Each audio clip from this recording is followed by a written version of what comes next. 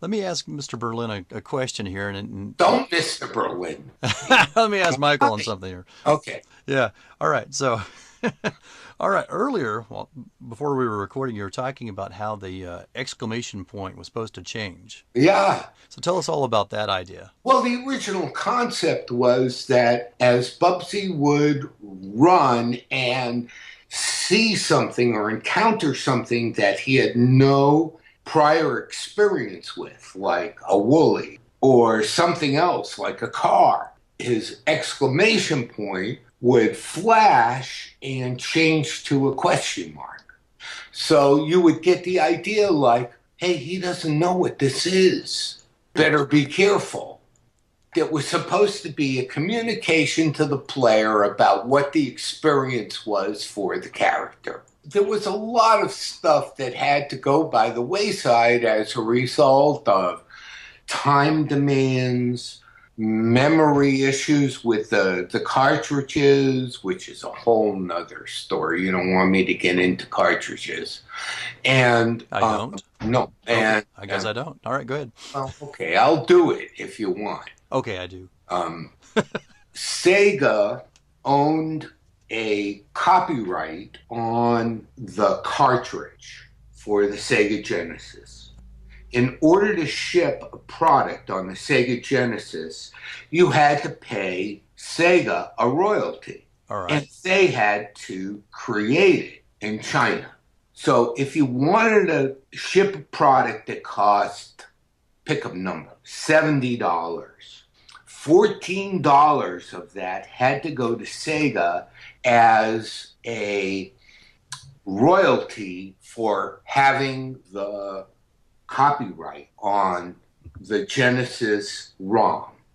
In addition, you had to pay Sega an additional $30 for making the ROM. So you were ended up with Sega's charge for making the ROM, as well as Sega's copyright on on the boot ROM. Okay? Okay, I'm not hearing very much profit out of this. No, exactly. so Accolade said, We're going to take this guy who's a brilliant programmer.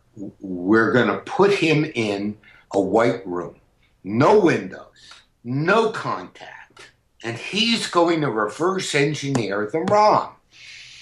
And his name is Tim Wilson, and he is a brilliant human being, and he currently works for Electronic Arts. So Tim reverse engineered the Sega ROM. As a result of reverse, reverse engineering it with no contact, literally no contact in Accolade, we could contract with China to make the ROMs at a very minimal cost without paying Sega anything. So, in order to do that, they had to both bet everything they had on Tim's ability re- to reverse engineer the ROM and winning the lawsuit against Sega in the San Francisco courts and being able to produce the ROMs. And they needed something strong enough to do that with, or there was no point in risking everything in it. Thus, Bubsy. That's Bubsy. So that's why Bubsy is really significant. Everything else is interesting and fine and fun and you know, it's it's a great product and I love them. A lot of people love them, but they don't know the real significance behind Bubsy.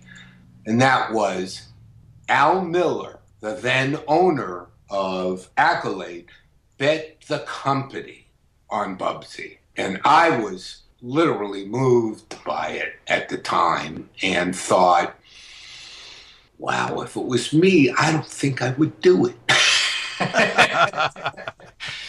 but you know, Al was um, he was a, a real rebel, and I think he deserved a he deserves a place in the Bubsy archive because he was an original Activision employee And he and a bunch of others, Steve Cartwright, um, Bob Miller, um, but I'm sorry, Bob. Um, wait, I can't remember his name.